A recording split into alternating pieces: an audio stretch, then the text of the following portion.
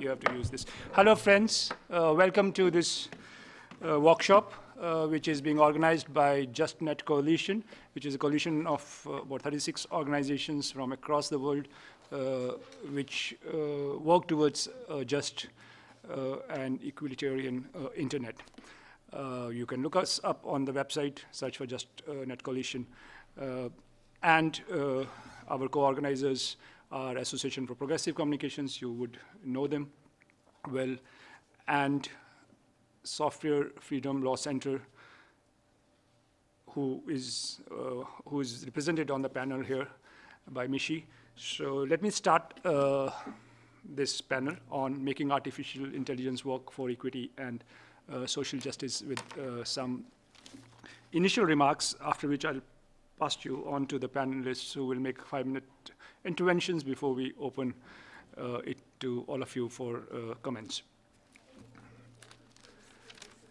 Okay, sorry, my colleague tells uh, me that if your audio is not good, you can use those things to put to your ear, uh, which will uh, uh, make things louder for you.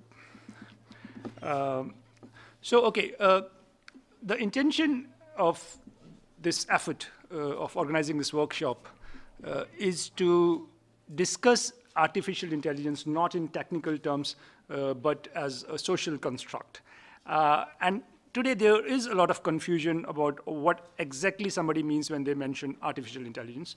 Uh, and among the businesses, you would have heard that so-and-so business have started using artificial intelligence and others are yet not using artificial intelligence. And they generally mean a specific kind of technologies uh, which probably a machine learning is what they mean, that they have started using it, other people use it more broadly. It's a good uh, term to market themselves by saying we are using artificial intelligence. So technologies change, uh, but what we are interested in is artificial intelligence having emerged as a huge social force.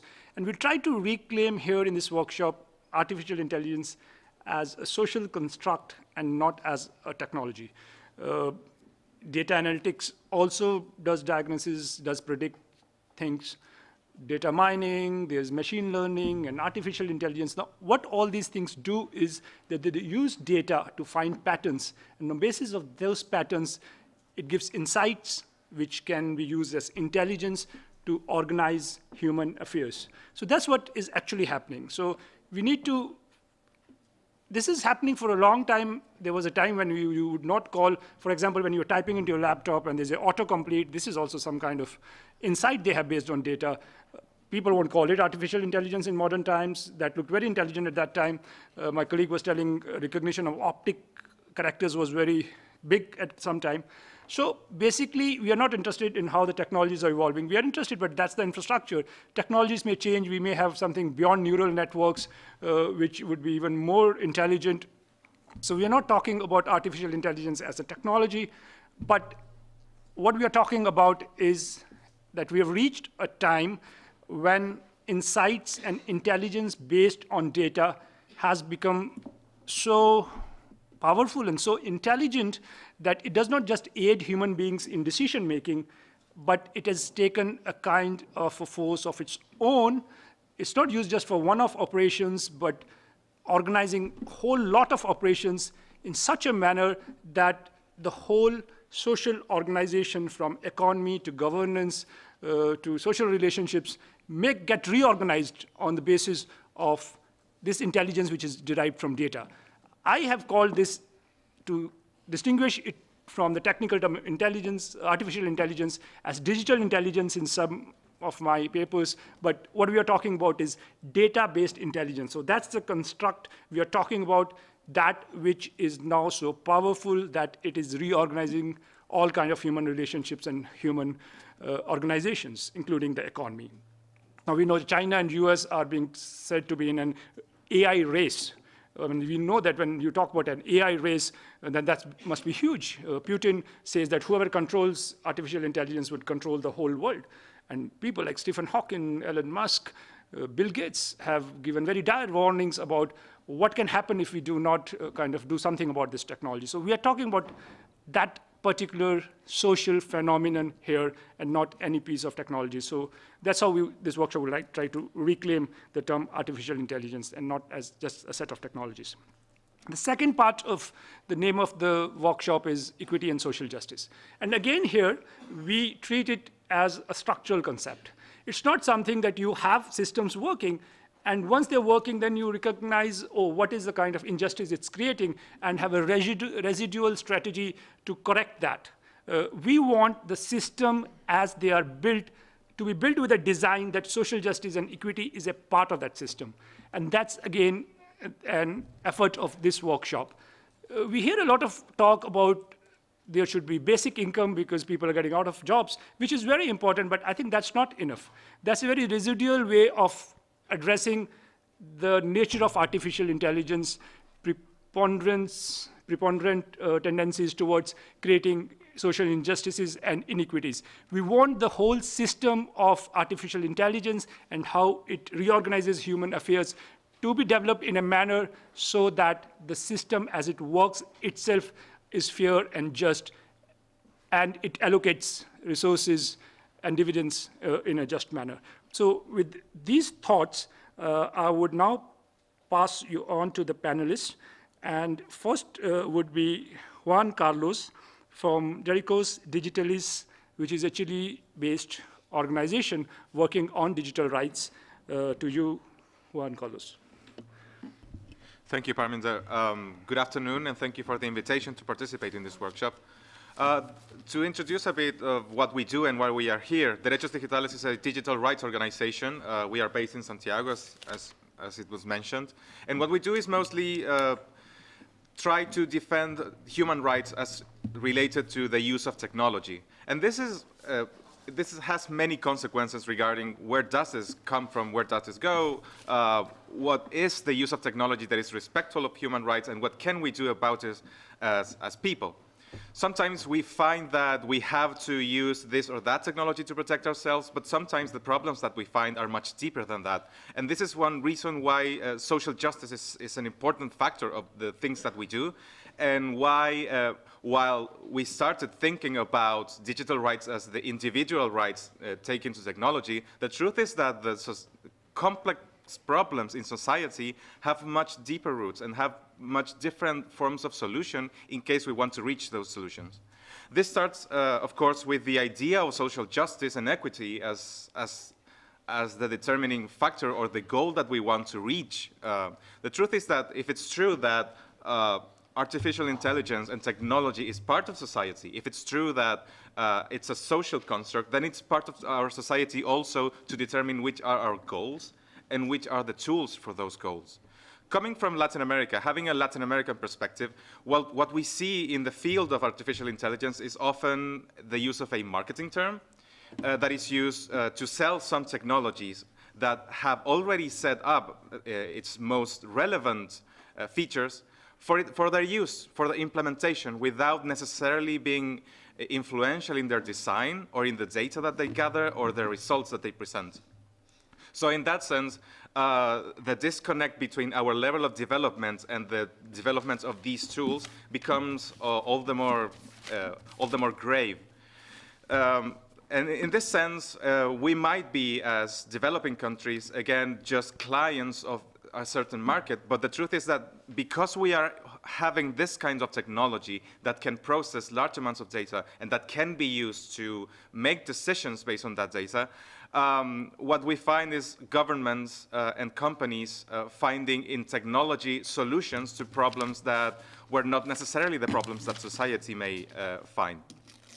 So to go back to the idea of social justice and equity, um, uh, and if we do not study the premises behind the design of artificial intelligence systems, what we find is another version of, of techno-solutionism where we uh, rely on technology to solve problems. But social problems can have only social solutions and not technological solutions.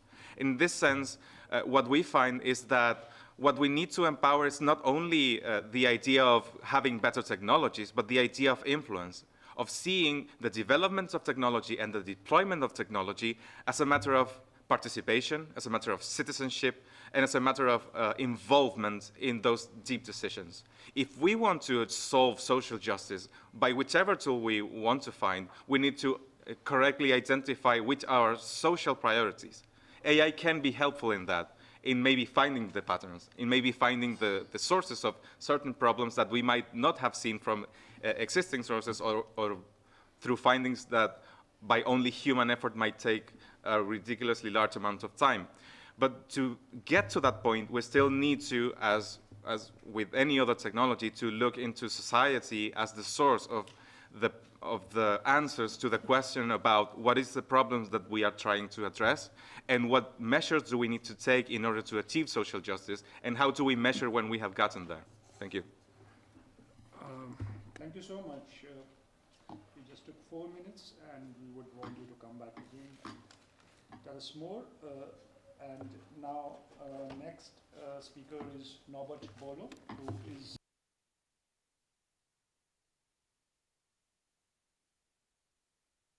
Uh, sorry, guys. Uh, Robert Bollow is the next speaker, who is a coordinator of JustNet Coalition, and he would try to give a little technical input to this proceedings about what kind of things artificial technologies are and what can they do or not and what can they be made to do. Uh, Norbert, please. Thank you. Now looking at this AI thing as a social phenomenon, there's a technical core behind it, and that's what I want to try to give us some very brief and much simplified grounding, which I propose to use for the purpose of this workshop. Now, the term artificial intelligence, it's the opposite of natural intelligence, which is meant to refer to the kind of intelligence that we have as humans and that animals also have to some extent.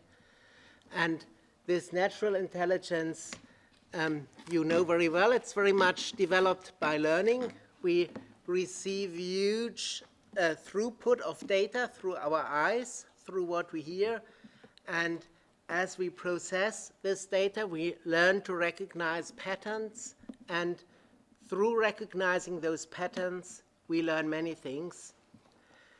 In a way, the human intelligence works like a muscle. The more you exercise it, the stronger it gets. Different from a muscle, it can learn to do very different things. This, this muscle which pulls my arm, it can only pull my arm. Maybe it is weak, maybe it is strong, but it cannot do very much different things. The human intelligence can learn to do very many different things. Chinese is very different from German and so on. We can learn many different things.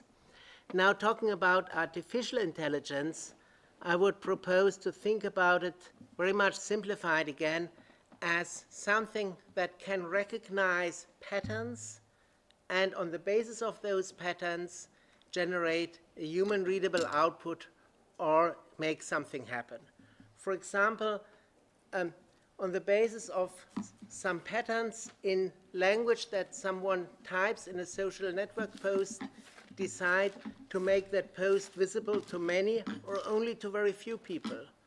Or on the basis of data about a natural person, decide whether that person is going to be a profitable customer and make them a good offer, or the, maybe that person looks like a risky customer or someone not likely to have much money, give them a very bad offer only. Or the famous example of a self-driving car, there is something inside which, depending on patterns like a red light or a green light and certain markings on the street, will drive or not drive and so on. So these are Systems, we speak about artificial intelligence systems. They have many components. I want to briefly highlight two types of components. One which I call algorithmic components. That is something like a traditional computer program. They may be very complex, but an algorithmic component is based on a programmer understanding some kinds of patterns and programming the computer to recognize them and take certain actions. using just algorithmic components, you can program a computer to play chess. It will not likely play terribly well, but it can play chess because that is algorithmic. On the other hand, in recent times, the computer hardware got well enough that also a different type of component has become practically feasible.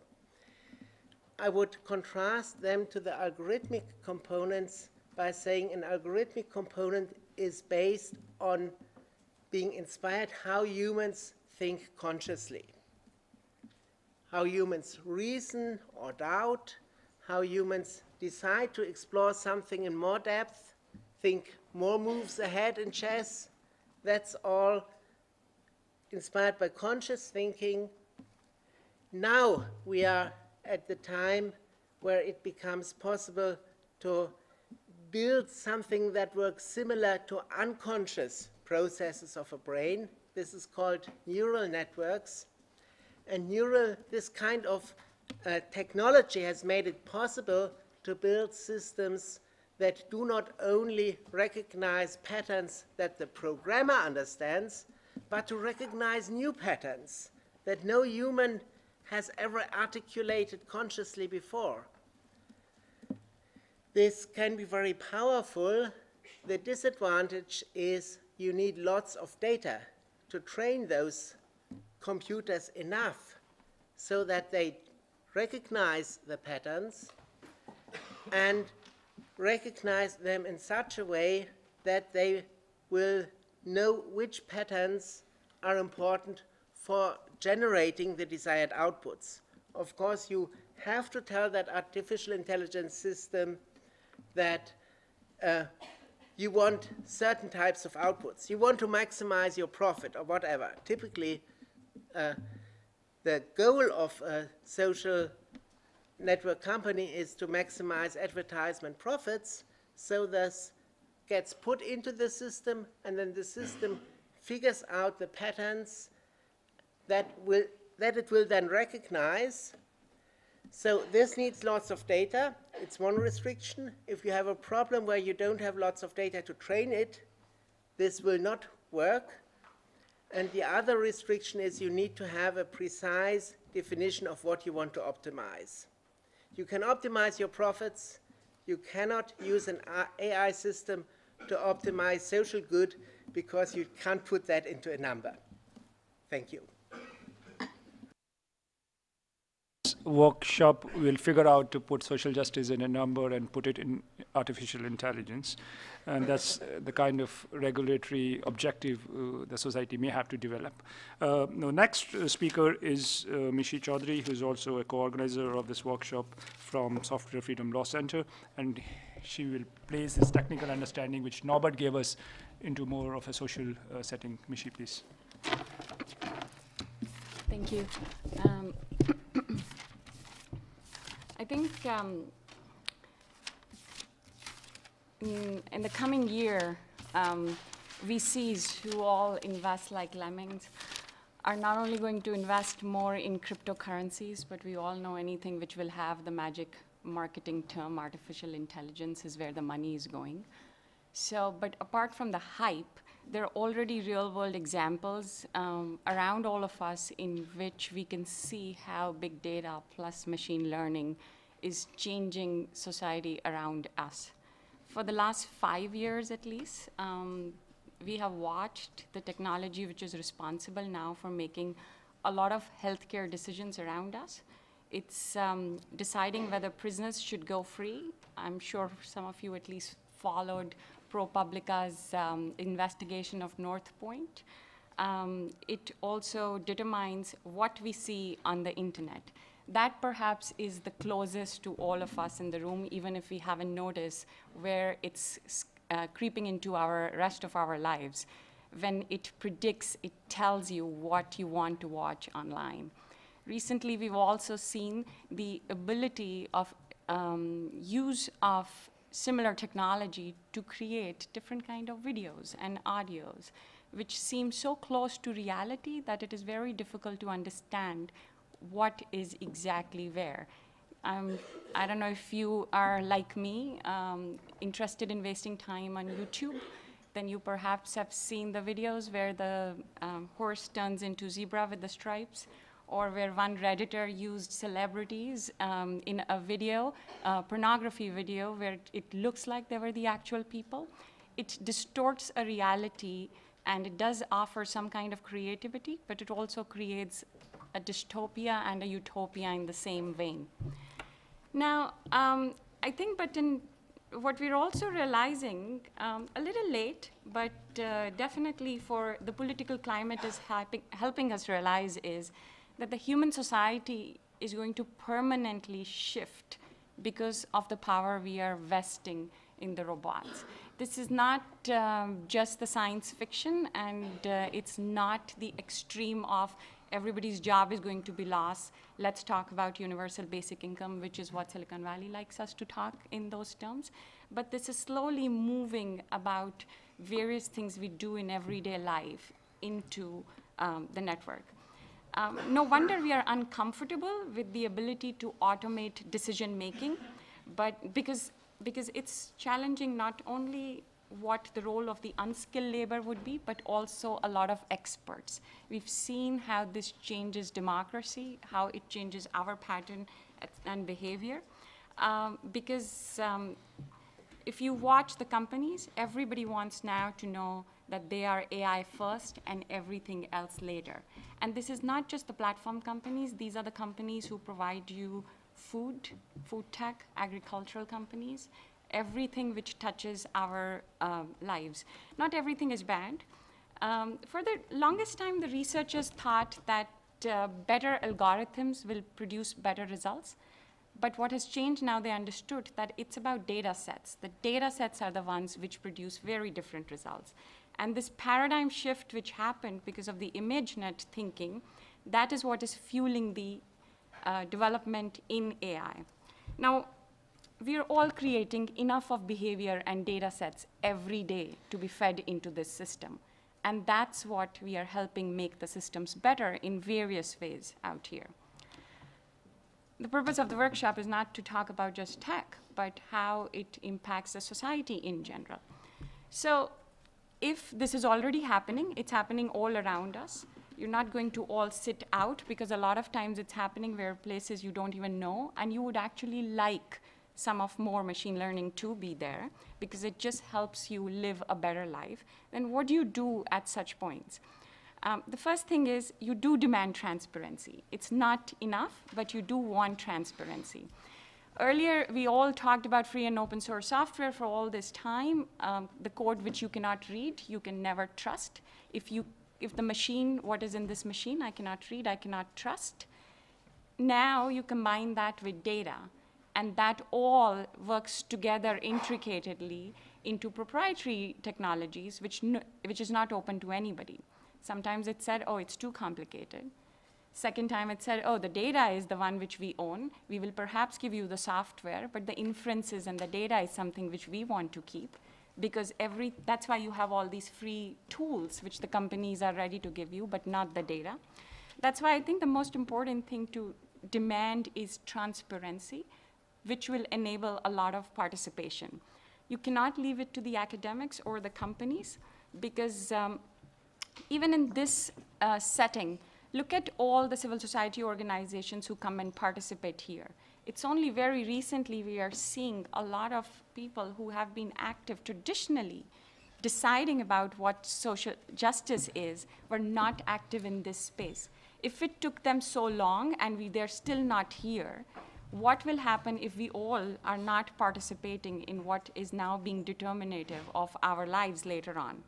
You have seen, at least in 2017 itself, there have been at least six major big groups which have now come up, which are right now looking into what either ethics would be of AI or what people would be and research. Eh, this is just a precursor because uh, self-regulation by companies is always what comes first before codified law comes. Law comes much later, politicians join a little later to the party, but self-regulation comes first.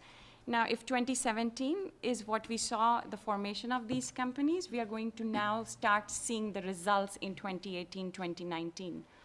So I'm not saying we're already late, but it's already time to start participating, demanding the transparency. The other thing which I just want to say is that um, coming from a different part of the world, I do practice in New York as well as I, uh, in New Delhi. Um, in some parts of the world, technology is still very fascinating. When you look at something, when it can tell you this is my face, and it can suggest in a photograph that you should be tagging such a thing, it's a very fascinating to somebody whose first interaction with computer is a small device. It's not the same as someone who grew up on computers and who hasn't leapfrogged into this generation. So a lot of people who are unconnected and coming online for the first time, they still think of this as big magic, and they're very fascinated. The uh, narrative in a lot of these countries is innovation trumps everything. Governments want and now are selling that everything subservient to innovation. Government want to move fast and break things, thereby forgetting a lot of traditional um, values of democracy, social justice, and equity, which it has taken generations for us to build. But because innovation is most important and economic development is the major goal, it's easy to ignore all of these. Um, I would say a, few other things, but I think my time is running. But um, I, I do want to stress upon that our role in building intelligent data sets that can teach the machines to develop this kind of artificial intelligence cannot be underscored or emphasized enough. There's an opportunity to create a full spectrum of training sets that reflect a richer portrait of humanity with inclusivity and diversity.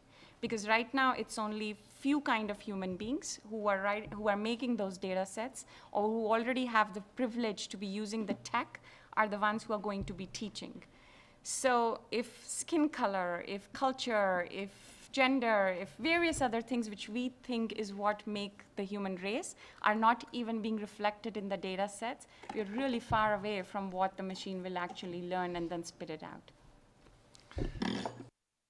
Thank you uh, so much, uh, Mishi. Um, in the second part uh, of the workshop, which we would soon move to after two speakers' interventions, we are going to focus on what can we do about it, because this is a framing of the issue uh, about what is the problem, but as social justice activists, we are very interested in actually being able to do about things. About things.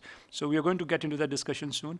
Uh, but uh, before that, uh, the next speaker is Preetam Maloor from ITU, which, as you know, is an intergovernmental organization, and he will describe the kind of spaces that are already getting built in international policy uh, venues uh, for these discussions, uh, because we need to reach these discussions to the policy venues. There isn't much time.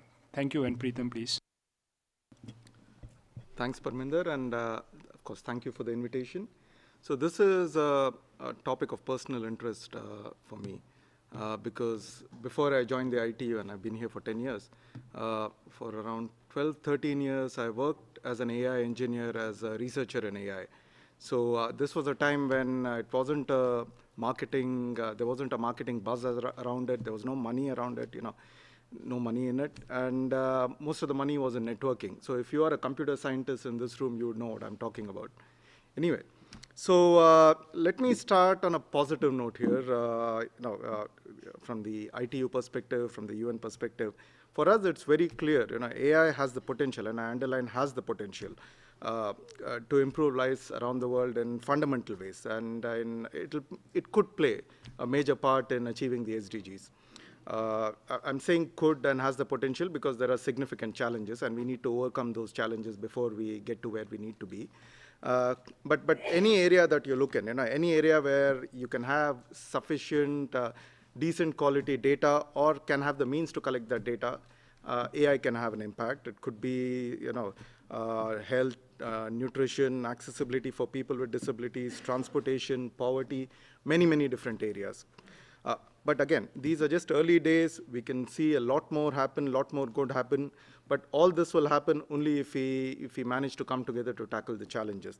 And the challenges are very complex and multifaceted. You've heard it, uh, and you will be hearing it throughout this session and many other sessions. You know, there are ethical issues, of course. And these are issues uh, uh, that I'm hearing conversations within the UN on.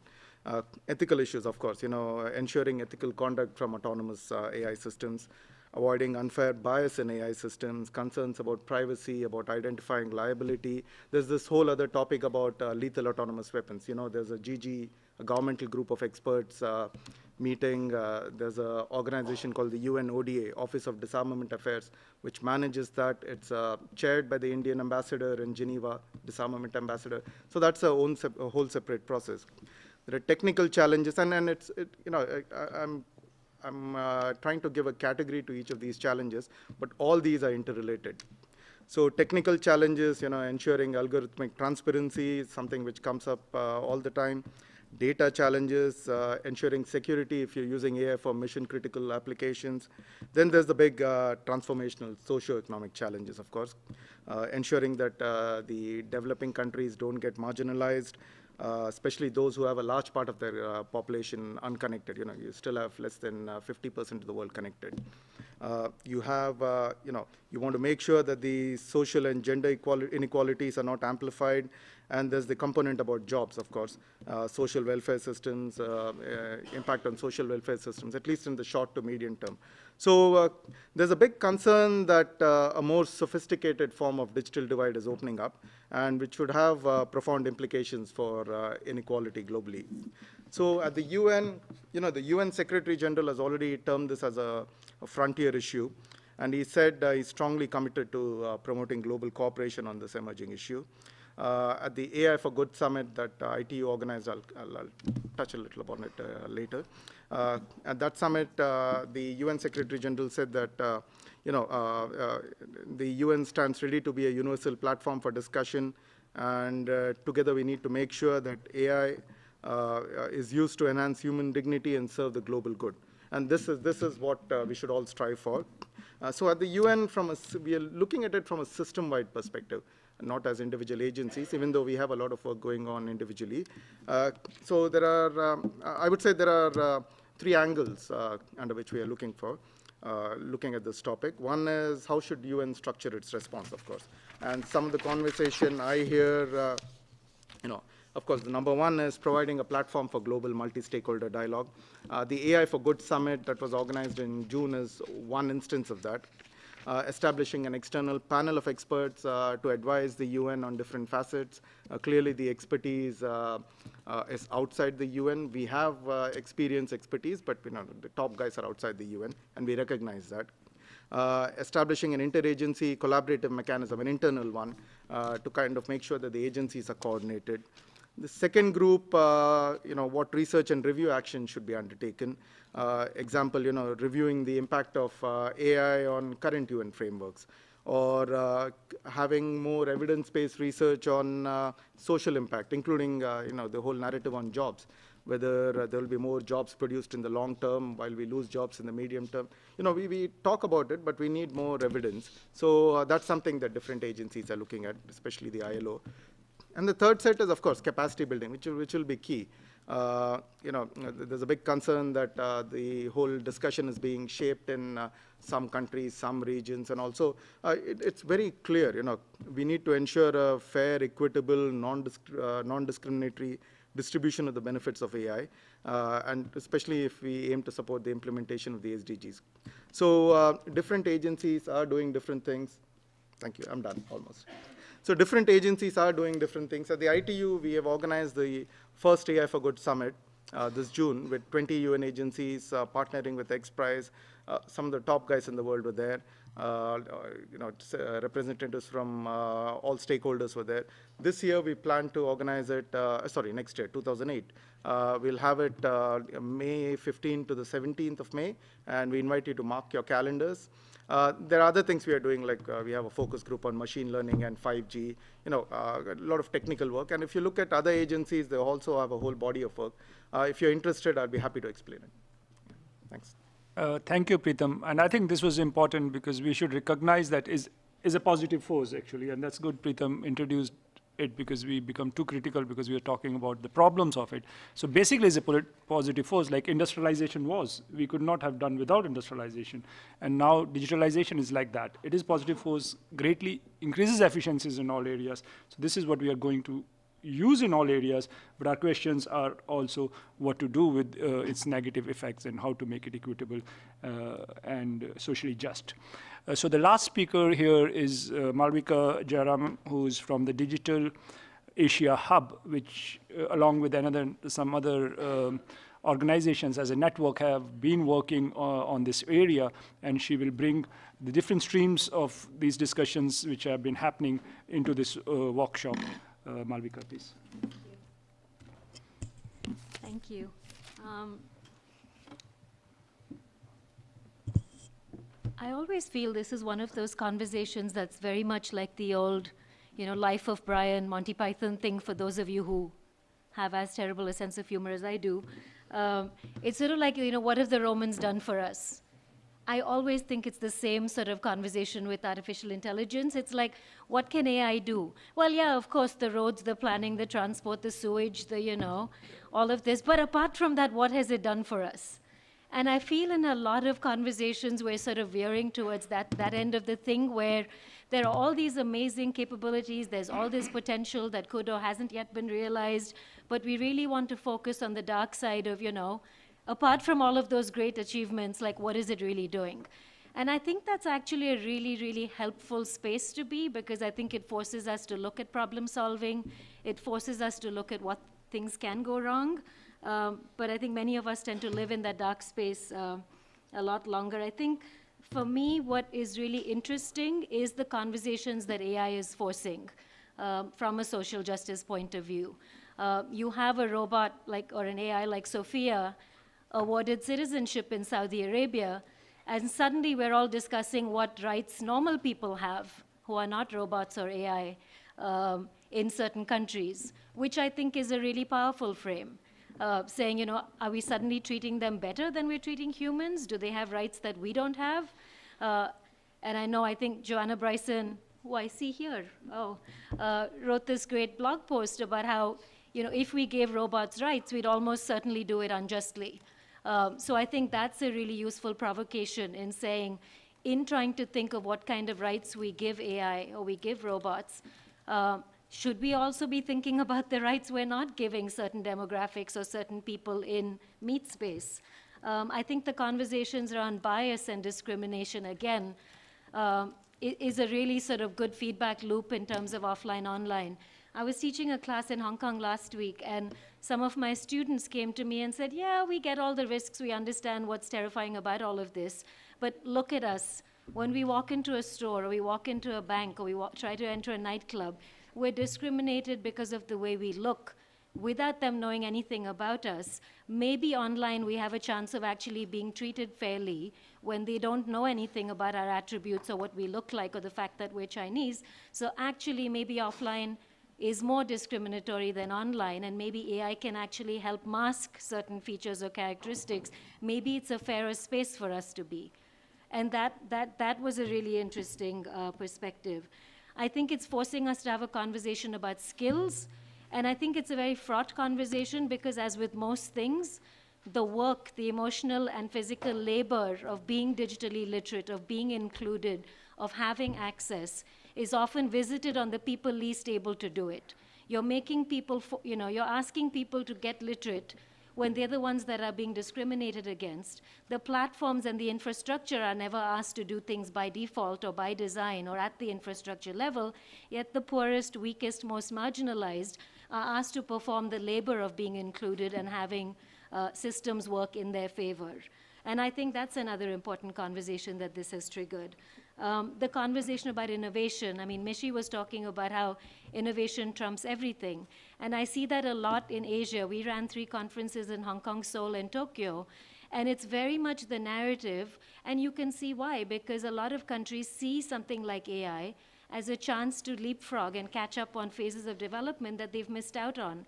And they sort of say, you know, we, we, we didn't participate in many other stages of the Industrial Revolution. Maybe this is going to free us. Maybe this is where we have competitive advantage. Maybe this is what we can turn our IT resources, which are significant, maybe that's what we can turn them to now that the outsourcing boom is waning. So they see it as potential and opportunity. And as I said in another session we did um, just before this one, they see it as an opportunity to fill missing populations in countries that are aging, in countries that are not having um, as many children being born. They see something like this as filling a missing labor workforce uh, or jobs that people aren't doing, or where countries have really strong immigration controls. They see it as a way of actually providing companionship, robots, help for older people that they would otherwise be having immigrants do. So I think, again, you know, those are all really interesting ways that it's playing out uh, and that have a, a, link to equity. Um, I think it also brings up this question of what is algorithmically solvable. I mean, Parminder's talked about, you know, social and technical solutions, and sometimes we sort of swap them technical solutions to social problems and the other way around. Um, but I think it's really forcing us to think about what are we even using this in service of. Um, there was a great tweet storm that Arvind Narayanan kicked off about how when he was teaching a class at Princeton um, and they were trying to define fairness, people came up with 21 definitions of fairness. Uh, how do you encode that? You know, how do computer scientists engage with, you know, nebulous ideas that as lawyers and policymakers, we're comfortable with having a multiplicity of definitions? How do you code these things into systems? Um, I think all of these have implications for equity. So I think just to end here, um, I would really urge us as a community to focus on what AI is really adding or subtracting from the social justice conversation because I think one of my pet peeves is we talk about AI, robotics, big data, analytics, statistics as if they're all the same thing. I think we have a real sort of paucity and poverty of definitions and vocabulary, but I think we also run the risk when we come at it from different disciplines of mixing them all up and talking about them as if they're the same thing. Um, but I think that's why intersectionality really matters. Uh, you need the computer scientists and the lawyers and the humanities people in the same room talking about these. The fact that we're all here, the fact that all kinds of people who've never thought about AI and are suddenly working on AI, speaks to how much of a game changer it is, how transformative it is. I almost think it's such a brain drain or a sort of time sink that all of us are focusing energy on AI when one year ago we weren't. Either our sponsors and funders are requiring us to add AI to a proposal for it to look current and interesting, or we feel it's actually touching every aspect of our life from Siri in our phone to how search engines are optimized, to what images we're shown, to how fake news works. We can't get away from it. So I'll sort of end with one of my favorite quotations from William Gibson, uh, you know, where he talks about the future is already here, it's just not evenly distributed. So I think the sooner we stop talking about AI as if it's some future sort of potential that may or may not happen and realize it is here, it is now, it is embodied in the devices and products that we use, and it is something that we are part of. It's an ecosystem. Uh, Nishant Shah at a Rio conference we recently had talked about saying he didn't like this framing of AI and inclusion or AI and something else because we are actually part of it. We're within an AI ecosystem. We're actors, we're participants. We may not all have the same agency or choice, but it is an ecosystem that we're all inhabiting. Um, so I think the sooner we recognize that it's here and now and actually start working on solutions and partnerships that will yield real outcomes, um, I think it would be a great step forward. Thank you. Thank you, Malavika. And I think you added well to Preetam's take that we need to first recognize the opportunity and the great force that it is. And as I said in the opening uh, intervention, it will fundamentally change how all our human systems are organized uh, from industry to governance to social relationships. So it's very powerful and it will change it in this manner because it's useful. It's highly efficient, otherwise it wouldn't change it in this manner. Uh, but also uh, slightly differing on what would be the role of the policymakers? Because there is always a constituency which is highly optimistic about it uh, uh, because they are the sellers of artificial intelligence, the owners of artificial intelligence. So there has to also be corresponding thinking about uh, what are the problems uh, with overselling of that uh, artificial intelligence because that balance is also required. And then when you see whether the balance is on this side or the other, uh, you need to make those kind of interventions because policymakers and uh, social justice activists, uh, of course, always look at power.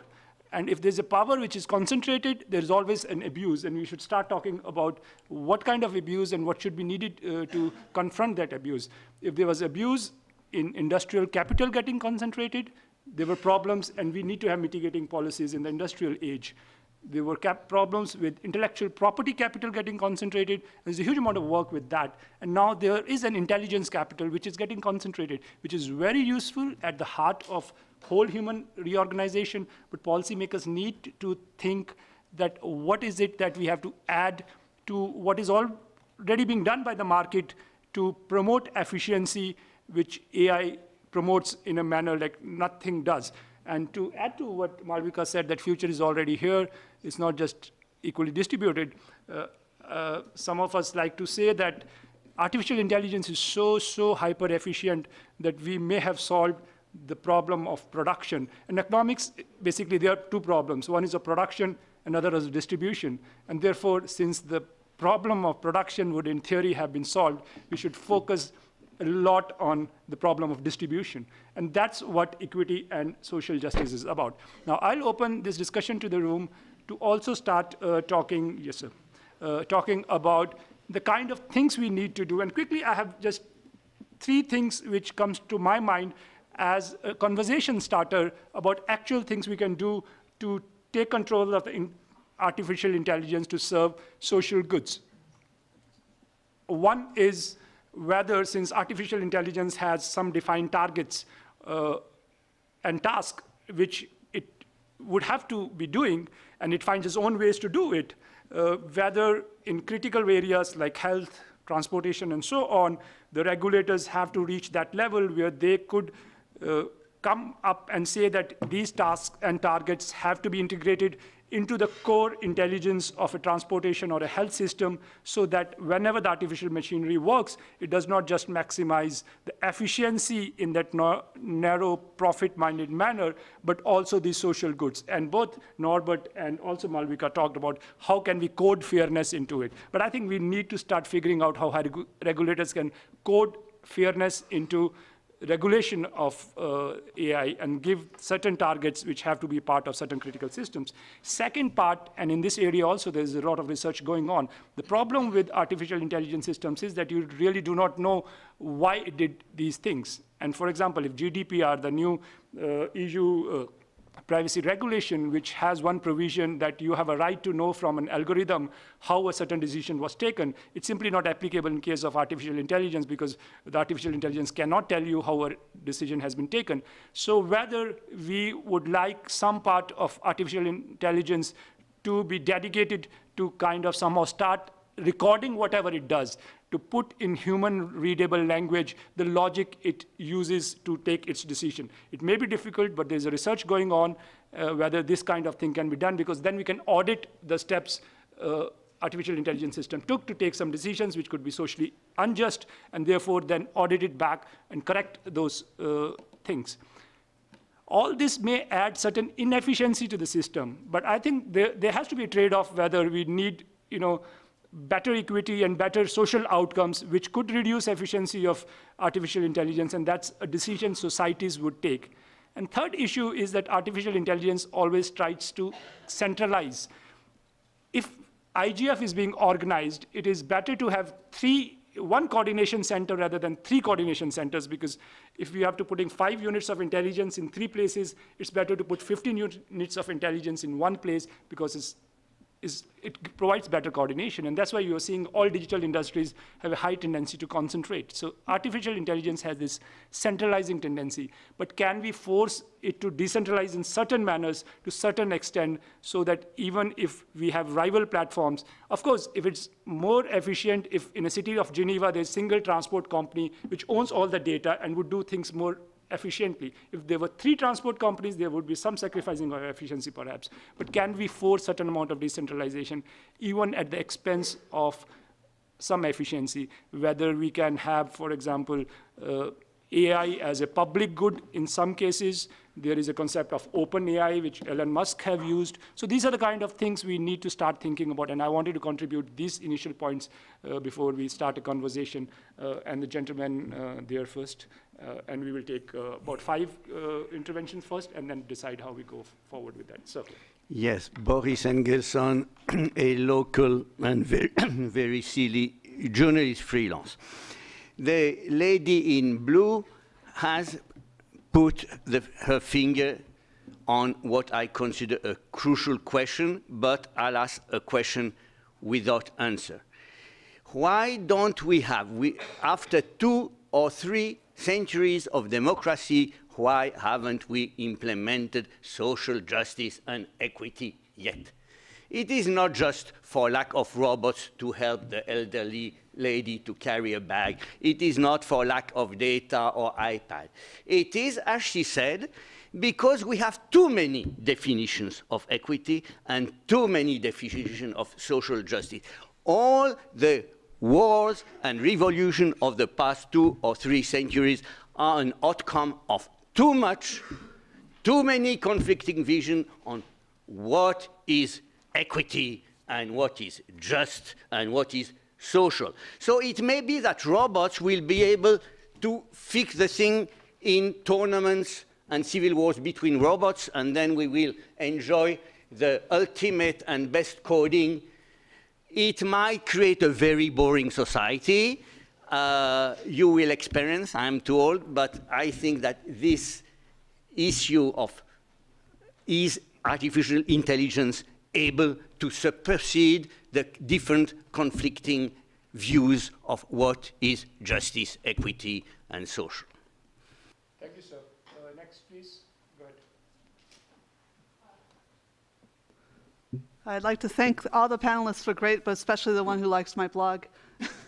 um, I, I, I want to speak, though, to the uh, gentleman on the left, since uh, the first speaker uh, mentioned, sorry for ca terrible at catching the names.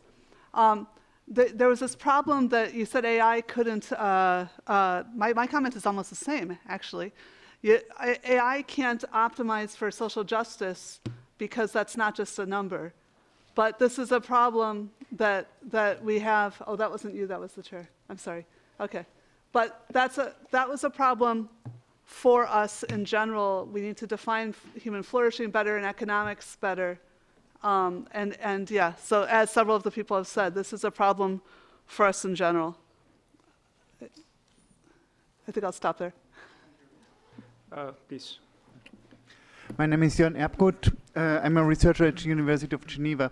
Um, I think we need a lot more education in uh, what kind of systems they are, uh, and then how to apply them and what it means to apply them. Um, even when the data is unbiased, um, we can be sure that a system to whom we don't give any rules will produce the correct rules. It just doesn't work. So if we want to have certain rules, then we have to give it to the system. And this is, of course, an, a difficult task because we have to first to define those rules and we, if we can't define the rules, we can't expect a nice AI system to define them for us in a correct manner. It just doesn't work. Uh, thank you, sir. Uh, please. Hello, uh, I'm Juliana. I'm from Brazil, and I'm here as part of Youth at IGF program. I have a question about the changes in labor force and labor markets. Uh, I come from the global south, and most of the job force for my country is unqualified and artificial intelligence, as was mentioned here so many times, will affect deeply the forms of labor offered in the world. But the unqualified positions will definitely be the first ones to be taken by AI. As a consequence, the workers of the global south will be the first ones to be affected. And as, as everybody knows here, those workers or the countries where this, those, those workers come from will not be the owners of these technologies. Uh, concluding, uh, how can we prevent AI to be more of a factor of inequality between the global north and the global south? Yes, uh, Martin Schmalzried from Families Europe. Maybe just a quick provocative answer to the first gentleman. Uh, there is an argument that we're not in a democracy. If you look at ancient Greek uh, writers like Aristotle, he considered democracy to be only via sorting. That is, citizens being chosen, you know, by random and not by election. He called democracy the tyranny of the majority. Just a thought, maybe. So that may be a part of the answer. Um, well, no, you shouldn't because I should, it's sorting.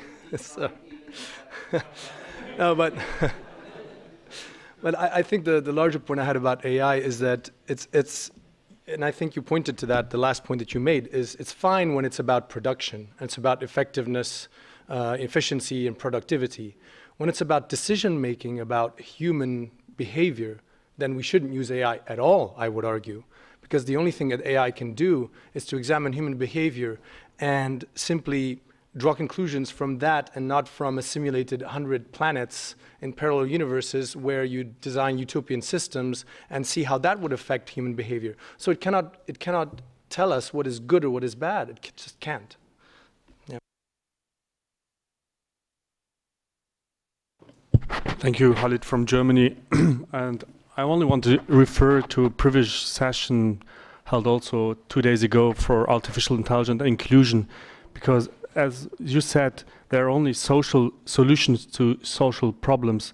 I don't necessarily agree with that because we had also the categorization of that we have technical solutions to social problems and social prob solutions to technical problems. And I try to extend that to that we do also have technical solutions to technical problems and social so solutions to social problems. And I only want to refer to the other term. I would not necessarily say that artificial intelligence is the opposite of uh, natural intelligence because that induces immediately that a zero-one relation between artificial and natural. Uh, but I do think that's much more uh, uh, fuzzy logic than only having a two side of flip coin. That, was, that comment was meant to refer to the origins of the word artificial intelligence. I totally agree that in practice, how it's going to be used going forward, the powerful applications of artificial intelligence systems will involve humans. It's humans who can make use of it, and they become more powerful or more effective at whatever their task is.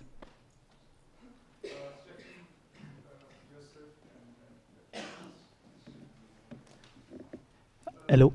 Just a minute. You want to say something? No, go ahead. Go ahead, go ahead. Yeah, uh, to briefly address the point about uh, social problems and technical solutions.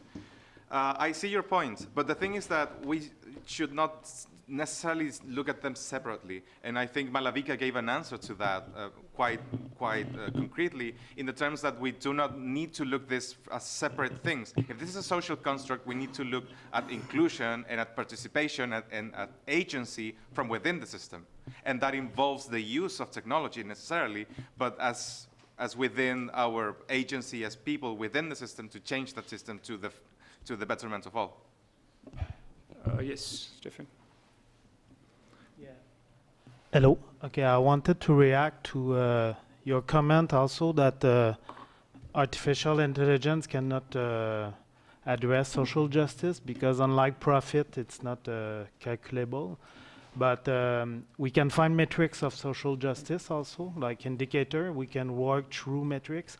Uh, it's like we, and wealth, for instance, it's not a calculable, it's not a number, but we address wealth through uh, capital profit. And there are indicators. Simple indicator would be the difference between rich and poor for social justice. Um, the problem is, do we want to quantify everything? So that's another problem. But I think social justice can be calculated. Come in here, and that's a main point. I think the, I understand the scientists and technologists are trained to think in that fashion, but we on the social and policy side, we know it's not only what is measurable which is important, but what is important is important for its own sake, whether it's measurable or not. And we need to figure out a trade-off. We cannot say we will only deal with things which are measurable and rest can go to hell because the best things in life may not be measurable, but we can still use economics, discipline does it, uh, econometric does it. So these are efforts to figure out some measurability about some important parts of life because and even if we lose efficiency because the matrices are not good, some things will still be included because they are the more important things, and that itself is uh, important uh, calculation. You wanting to say something? Um, I was, I was only trying to say is that um, the the rise of the cryptocurrencies, which I'm sure nobody has missed out. Uh, but if you go back to 2008 and 2009, when Satoshi actually starts doing, or the group of people, which is Satoshi, I do not know who that is, but when they start doing it, it emphasizes this increasing trust in code and technology over human created systems. The financial institutions, the governments, all the policy, all everybody, the economists who actually told us that there is more trust in this rational human being, which also has been destroyed as a theory had failed everybody. And the bankers had done, and everybody knows what happened in the subprime mortgage cases. They failed us, and there is an increased tendency in, a lar- in large swaths of human population to say, these guys, the tech is predictable. The human judgment is greedy and unpredictable. So the phenomenon we are observing is more and more trust there. And that's why it's easy for the governments to sell the narrative of everything else is subservient to innovation, and that anyway leads to far more predictability in the behavior of their own populations. And anyway, what is democracy? Um, because if everything is going to be now uh, fine tuned and changed, by algorithms, then everything else is up for this up for the grabs, and the human society is now changing. So that's all I wanted to say. That the larger phenomenon should not be ignored, uh, because that's how many of the people are currently thinking. Um, thank you. Um, my comments actually um, somehow related uh, to this and also following up on the point of, of innovation um, and the financial crisis. Because I was wondering to what extent, and this is a question for also all the panelists, um, if you had some thoughts on how the current economic capitalist pressures that influence the different developments of, of those uh, and the, like the, the AI and the, how the pressures on the companies, how that influences what types of products that they come up with and how they shape and how they move around, right? This like the competition between the different companies that they want to be first and whether in our reactions and like trying to like come up with solutions and what could be done, whether thinking about different business models or different approaches that are kind of that go a little bit counter to that um, that pressure and like that, that that competition and something that is maybe a little bit more open, something along the lines of previous uh, initiatives around Creative Commons and like copyleft approaches. If you've had some thoughts and ideas on on all of that. Okay, I'll give you uh, on the panel quickly a minute and a half each at the end of it, but we still have time and Thank you. It's been fascinating for me listening to this because everything that I've been reading is warning against the fact that AI reflects the biases that we see in our society. As a woman of color, if you're interacting with a system which has been trained by somebody who is not a woman of color, you can expect that you will pick up some biases. This idea that governments feel that um, technology is neutral, uh, you're, you're coming out and saying they're worried about human systems, they have more faith in tech systems. This is what I heard you saying. Oh, I actually said um, the citizenry is now showing more faith in code and tech, not just the governments. And uh, that's why. Well, I don't know about that. Maybe I read the wrong stuff. Um, because that's not what I'm feeling at all. I mean, if you look at the discussion, you're looking at major platform companies, the oligarchs, as we call them, And citizenry is becoming more and more nervous about the control. Oh, I'm that- with you on that. Yes. She No, but if you talk about algorithms and their control over data and over your lives, you're talking about AI as, as well. You know, so I think that I was getting some contradictory signals from what was being said on the panel. But essentially, we see the systems that we have created will reflect who we are. And we haven't got to the stage yet where we can insulate them from that. Thank you. And I just want to add one point because uh, that's the political economy, and we try to bring a political economy approach to it. People talk about biases, but it's not just biases because biases look like something which, if I'm given the right information, I'll correct. There are also interests embedded in AI, and interests are different from biases. Yeah. Interests are deliberate, biases are not deliberate. And we like to talk only about biases if, as if if everybody had the right information, they'll Mm. correct themselves. But here, interests are integrated by the controllers of the technology, and that's Yes, Let me just make one more point. Sorry, I forgot. The point on innovation. What I've been reading is innovation is dangled out as the reward for no regulation in this space. So I see that as being a company um, narrative, uh, you know, big business narrative, to leave them in peace. I don't see that necessarily as a developing country narrative, which is what I was getting from you. Oh, that, uh, that, that's one thing which I will actually disagree. The other things I am with you. I think you're right. For a longest time, it was dangled as the innovative thing. But what has happened now, the government narrative has bought into it. The public-private partnerships, I'll tell about my own government, where I come from, India, where it's been now the data-based innovation is the biggest thing which most company, which most governments now want to bank upon. Look at the countries like the Republic of China.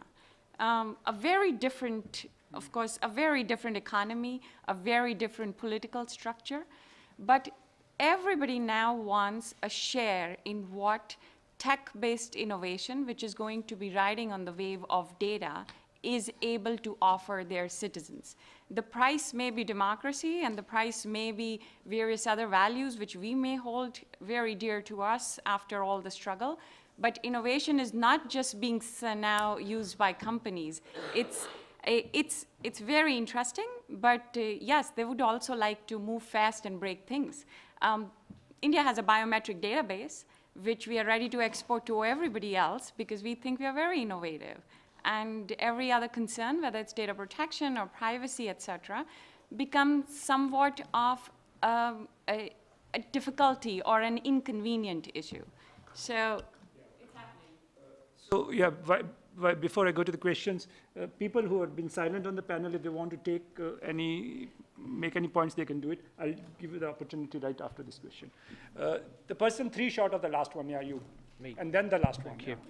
Um, yeah, I just wanted to pick up a, a comment made by the chair um, um, as you were, in a sense, summing up what the panel was saying uh, as they first finished speaking, which was about the concentration of power. And I think that's an extremely important issue to have on the table.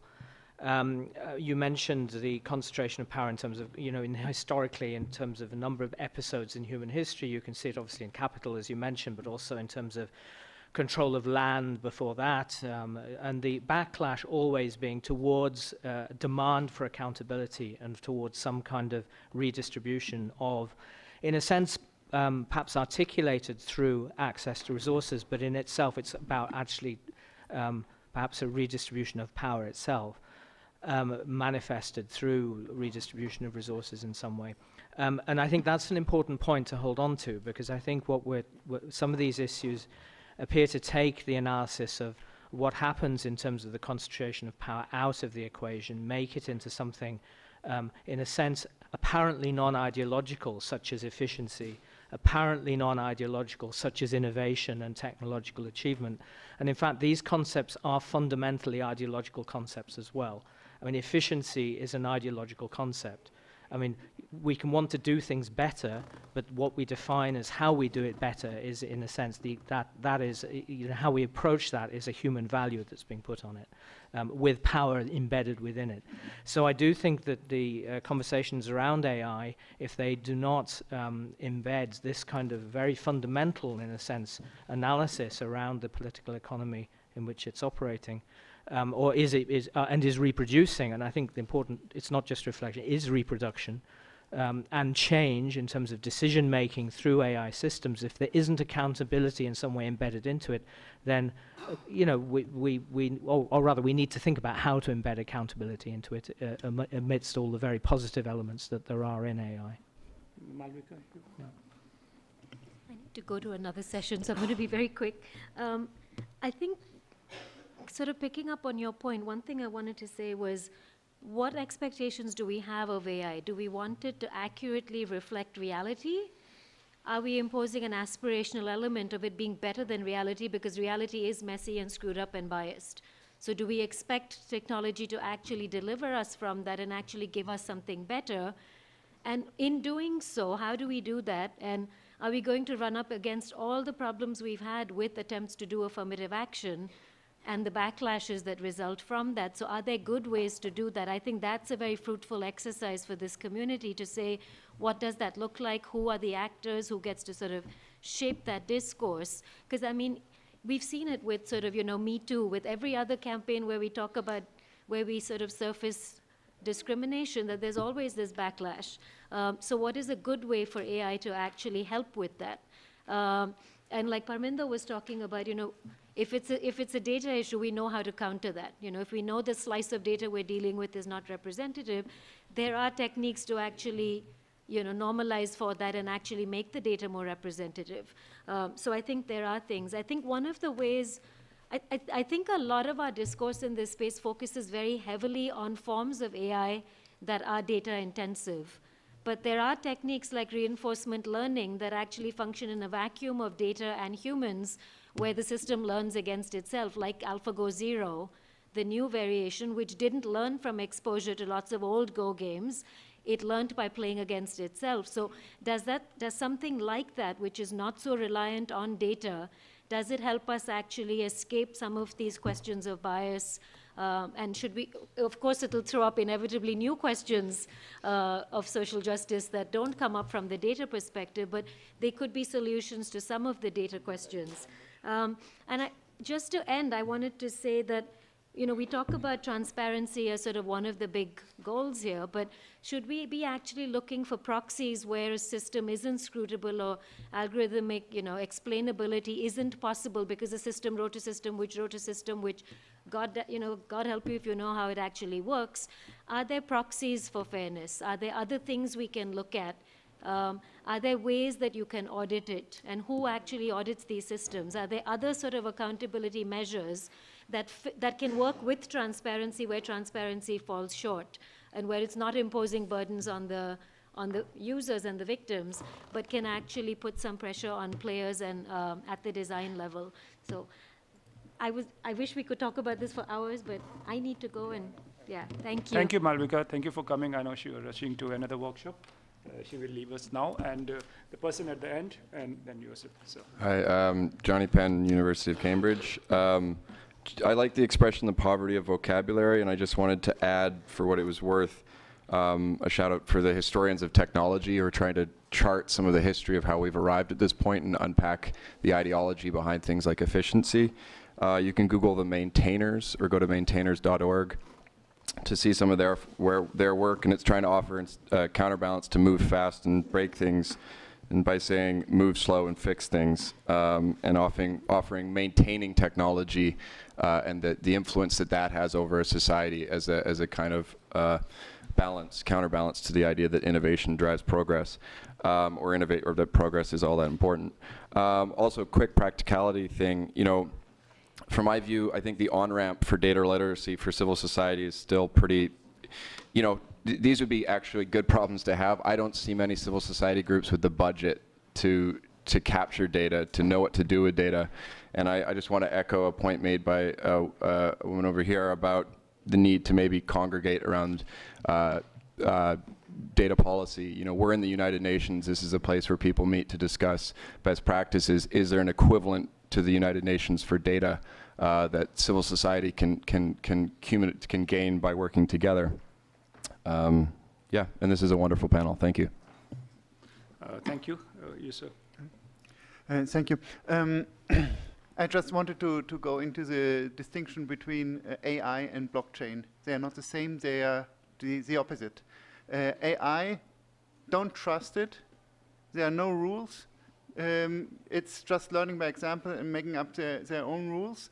Uh, it learns your examples, and everything between those examples is just interpolation, which might be good or might not be good. Blockchain, on the other hand, is very simple. It's um, clear rules. Everything is transparent, and you can trust it. That's what it it's made for. So AI for complex problems, blockchain for simple problems, but trust. So uh, we, we need really to look at what kind of technology we are looking at and see where we can em uh, employ it and where we can't. Thank you. Yeah, I completely agree that basically it's not technology. Somebody said there are technical solutions. I think definitionally a solution is social. It cannot be technical, but we can get into that definitions later on. But I think technologies contribute to making new institutions and new social systems. As you were saying, there is there are complex technologies and less complex technologies, and combining them together, we can make financial systems, we can make governance systems, we can make other kind of data systems, which, which kind of carry forward our social objectives. And depending on what our social objectives are, we can combine different kind of technologies. So I think social is always ahead of technologies, and I can't see anything being technical being ahead of uh, social, but that is a long uh, discussion many, many disciplines uh, enter into. Uh, so are there any other inputs? Otherwise, I go back to the panel. Anybody wants to make last two interventions? Um, yeah, so yeah, we have uh, six minutes. Uh, so I'll, if nobody else speaking, I'll, uh, a quick one, uh, and I'll go back to the panel. Uh, and the panelists can start from there and choose whatever points they want to speak about, just about a minute each left. Well, thank you very much. I'm neuroprogrammer. Um, I just have a question. Who is going to push AI or artificial consciousness developers or developers of bots, the companies, to be more transparent in their softwares. So if UN has not yet consented a definition of bioethical artificial consciousness, this is going to be cyber unsafe if, if we have a robot like Sophia robot speaking in the UN or making decisions or participating. Okay, Thank you. So uh, I would uh, first give chance to those speakers who did not intervene during the interventions, uh, about a minute each, uh, then Norbert, uh, and uh, then Carlos, uh, please, and then Mishi and myself if there is any time left. Okay, thanks. So hearing the conversation, you know, some of these issues have come up so many times that, at least according to me, I think there is a need to demystify AI.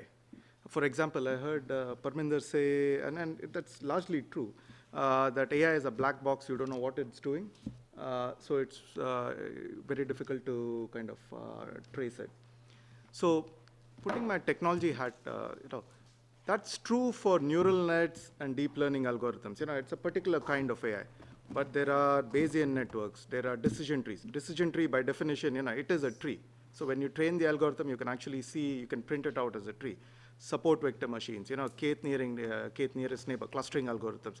There are different classes of algorithms where traceability is not that difficult, you know. And these kinds of algorithms are used for uh, natural language processing, for speech recognition. It was hidden Markov, but it couldn't, even that could be traced. You know, so uh, let's not put everything in one basket and say that we don't know what's happening you know, let, us understand what the different uh, uh, techniques are, what the technology is, and then try to figure out a solution for everything. Because then, the, or else the worry is you're always aiming for a doomsday scenario, and uh, you're always concerned uh, without knowing what you're concerned about, you know. So it's just a general point I'm making. And I just wanted to close by, uh, you know, uh, re-quoting Tim Cook, whom I heard at the Wuzhen conference in China the week before last, I think. And, and uh, he said something along the lines of uh, he's not worried about uh, machines thinking like humans, he's more worried about humans thinking like machines. So I'll just leave it out there.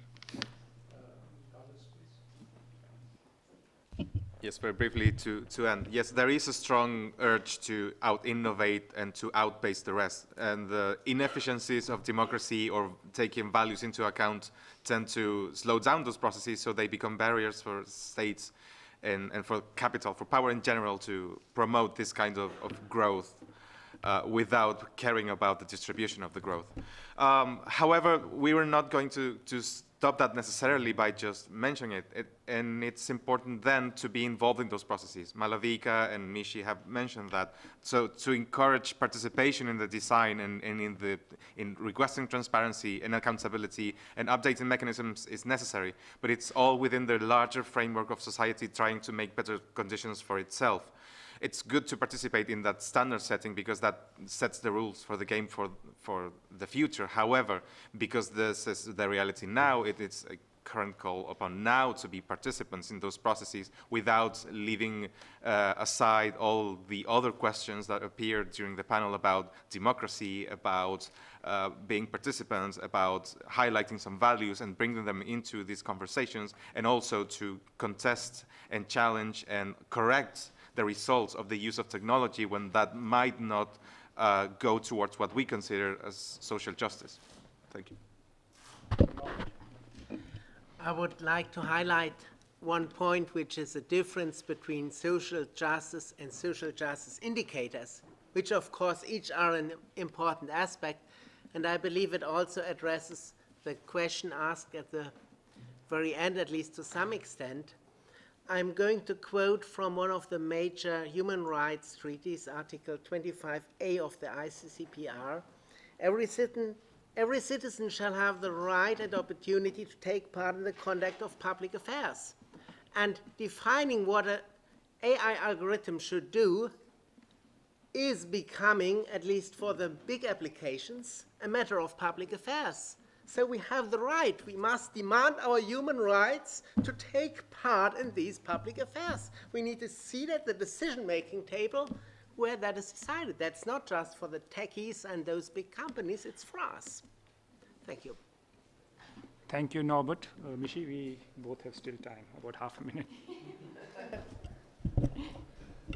um, I just want to say that um, I, I, agreed with Preetam about what is um, the segregation and uh, the triage and understanding of terms is a little important. But I do want to concentrate on one simple thing. I think um, in future when we look at, it's not just the lower skilled labor which is, which is seeing um, at, at, least a little bit of changes in what the new jobs will bring, bring, but it's also at the very expert level, which requires kind of precision. And there's a lot of other kind of benefits which are coming up. You all saw perhaps Kepler, the new exoplanet, which we discovered two days ago with the help of Google Neural Network. Um, these are great benefits which we have. It's for the first time in after the Industrial Revolution, we exactly can predict which are the kind of injuries we have when production happens and can make work safer and also about education, just to make education effective, which I think has been an endeavor of the human society, which will ultimately lead to all kinds of benefits later on. To make schooling more effective, edX is already doing it, and proprietary software companies like Coursera are already deploying it, but it's also time to do it for ourselves and our schools, which is the benefit coming out of it. I cannot emphasize enough that uh, more participation, or at least even an attempt to understand all the issues, just makes it a little more better than somebody just telling you the top-down approach that this is how the tech works. It said, uh, I think Mozilla's health report of internet says 52% of the websites on the internet are in English, but only 25% of the world's population speaks English. And that also tells you the disparity between what is now being taught to us compared to what we want to learn. And let it not come as a later afterthought of band aid that this is the kind of policy you would like, but just participation, talking, and interest, getting interested and improving our own education. Uh, thank you, Mishi. Uh, thank you, everybody. Uh, we may not have been able to answer some of the questions, but the questions were important inputs in themselves. Uh, thank you very much for a very participative uh, walk out here. I just want to add to what Mishi said that we want to continue this work. We do not want equity and social justice to be an residual addition to when the new digital systems around artificial intelligence have been set up. We want these to be a part of the design, and we are in formative phases of an artificial intelligence powered society. And therefore, we want to carry on this dialogue, whether we are able to code social justice or not, or do it inefficiently, or in doing so, reduce the efficiencies of the systems a bit, which I always think it does happen, but we should have to take that trade-off. So we want to continue this dialogue. Those who are interested in continuing this dialogue can either go to JustNet Coalition website or IT for Change website, uh, and there is a uh, general um, email ID there, and write to us. We would carry on as a group trying to figure out and bring it back to the next IGF, possibly also as a dynamic coalition, but in some kind of a grouping which will carry on an effort to see that equity and social justice is part of the new systems and not added to them later on. And thank you, everybody, and thank you, the panelists, so much. you did it before I did it. Now you do it because No, no. until the chair does It's it. over, it's but over. Preetam says until you say it, it doesn't matter. The meeting is closed. And I know I would not speak because before I came to the room, it seemed you said more or less the same in a more articulate. Not at all, sir. Very much good uh, contribution. And I think democracy is achieving a lot. For a poor country like India, also, we are so